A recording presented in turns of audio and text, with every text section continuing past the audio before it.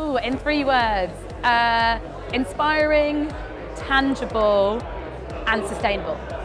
Solving big challenges. Um, I think I would describe it as exciting, innovative, and like uh, really good for business, I guess. It's not really three words, but. Huge and life changing.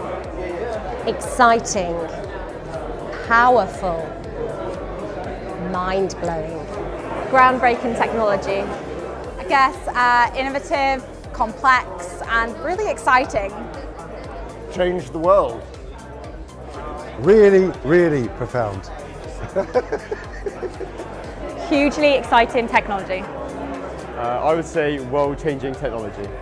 Optimization, benefit to society and economy.